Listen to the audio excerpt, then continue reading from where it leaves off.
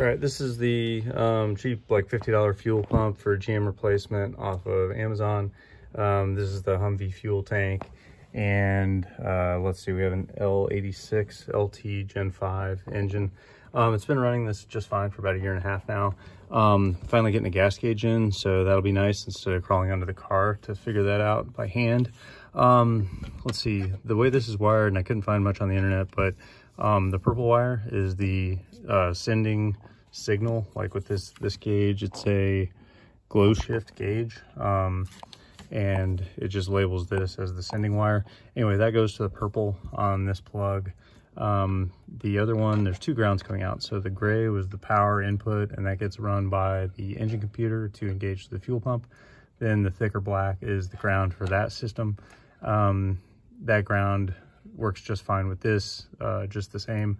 It's the other side of the sending unit. So somehow there's resistance that measures between this and this one, um, which then sends back uh, I don't know, somehow it tells this thing how much fuel you have based on that, and uh, that's how it works.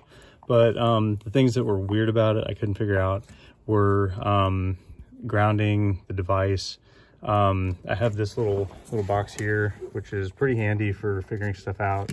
Um, it's a little 12 volt system that uh, can supply anywhere from, uh, I don't know, up to 30 volts, 10 amps, um, and it's pretty handy. So highly recommend these things if you're doing any kind of project. But um, long story short, when I had it connected to the box, it worked fine.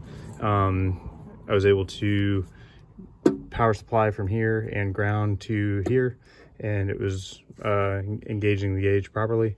Then when I tried to ground through the truck, but supply power from here, it didn't work. And um, just to double check to, you know, what I thought would work is using the same wire for grounding both the fuel pump and the sending unit.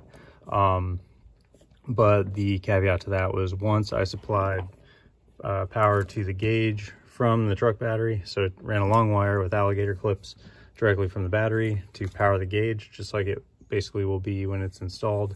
And then the grounding side of it was um, ground wire back to that truck battery and sending wire still connected then that worked and it's reading correctly. So I'm gonna go ahead and install it that way. But that is how it's wired. And if you do it that way, it should work just fine.